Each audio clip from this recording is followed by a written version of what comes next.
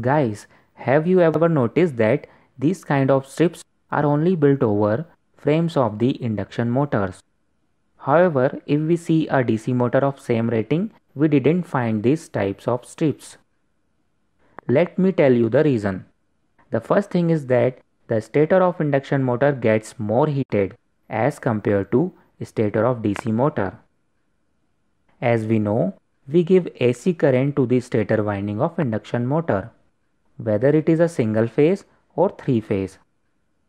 And AC current makes changing magnetic field. Any metal comes in the vicinity of this changing magnetic field like the winding of the rotor and EMF get induced in that and due to the closed circuit AC currents start flowing in that. This also applies to the stator core and the frame. And cyclones of electric current gets produced in both. This cause excessive loss of energy in form of heat. And this current is known as eddy current. To reduce this current as much as possible, the core of induction motor is made in layers so that the effective resistance of the core is increased. But it is not possible to make the frame in layers because it should be strong. Eddy current does not contribute in the function of the induction motor. Only it does the loss of energy in form of heat.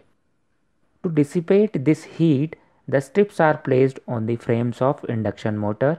These increases the surface area of the motor and the temperature of motor remain in the limit so that insulation of motor doesn't get melt and not cause short circuit between turns of the winding. Remember that in the stator winding of DC motor we give direct current which produces stationary magnetic poles. Until the magnetic field associated with the stator core and the frame does not change, no EMF can be induced in them. So there will be no such eddy current and hence no such production of heat in the stator core and the frame of DC motor. That's why the pole shoe of DC motor are made solid. They do not need to be laminate. Means no need to make them in layers and there is no need to do this type of special cooling arrangement in its frame.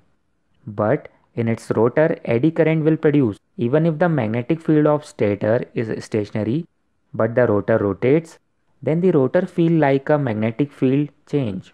Therefore, it is necessary to laminate the rotor of DC motor.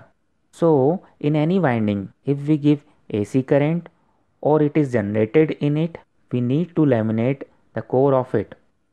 Such as in case of transformer, the core is laminated. Even in the case of choke of tube light, if we talk about the big alternators which usually installed in generating stations where the rating of power voltage and current is very high, the stator core of alternator is often laminated as AC voltage is produced in its stator winding whereas the rotor consists of solid core because it is energized by DC supply to produce fixed pole. That's why the frame of induction motor consists these kinds of strips whereas in case of DC motor of same rating does not. Hope you like the video. If yes, please like and share it. Dear friends, if you haven't subscribed our channel yet, please subscribe and also press the bell icon. Then only you will get notification of our upcoming videos. Thank you.